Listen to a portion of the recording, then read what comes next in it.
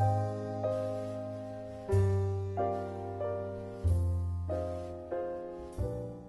afternoon, everyone. On behalf of Asher and his management team, we'd like to welcome you here this afternoon uh, for the presentation of our interim results. We believe that it is important for us to grow both our top and bottom line comparably, and then something that we've added whilst retaining our entrepreneurial spirit. So as we grow up and, and mature, we don't want to lose that very important thing that we believe has been key in our success. We've expanded what was previously a very large focus on the South African market to include the rest of Africa as well.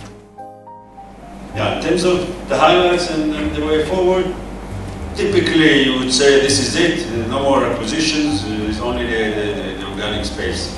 That is appropriate if you, let's say we had 40 or 50 percent of the market share. Our market share is, is around 5 percent. That's the reality. And uh, for us to, to continue to grow, both organically and through acquisitions, it's still all available to us. We see question number one, have they got the money to pay? When we look at an acquisition, somebody looks at us, okay? And he goes, the guy wants to sell the business to us, goes to his advisor, the advisor will look at the balance sheet and say, yeah, they're safe, they've got money, they've got cash. And you always borrow when you have money, haven't you learned that? By the way, uh, I say it in, without, without joking about it. Okay, you'd go and try and borrow money when you got, you got uh, no assets, your net asset value is zero, uh, your debtors are already hooked to somebody else, and you've got this great opportunity to, to buy something, to enter into a new field, and then you go and ask the bank to lend you money. They're not going to give it to you.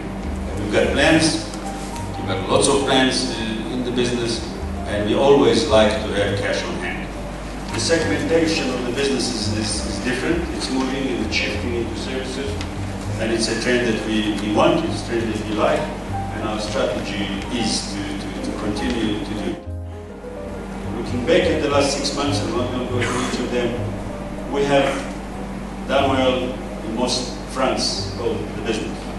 Our market cap is 3 billion, uh, decent brand, and more important than anything else, I think uh, we do have, we think, the best people in the industry.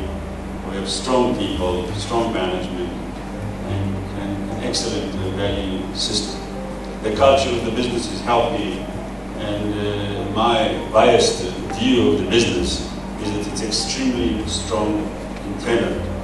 By April this year, in the next couple of weeks, we have 620 young people coming into the business. Uh, we say that uh, the role of business in job creation is far greater than the role of government. And, and business must take uh, responsibility to create jobs in the country.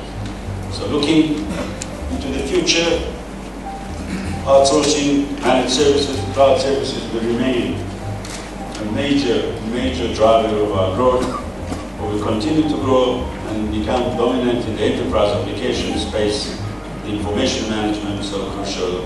Again, public sector and state-owned enterprises, BPO, the verticals. We believe we're going to continue to grow our market share, and we believe that the acquisitions will still complement our organic growth into the future.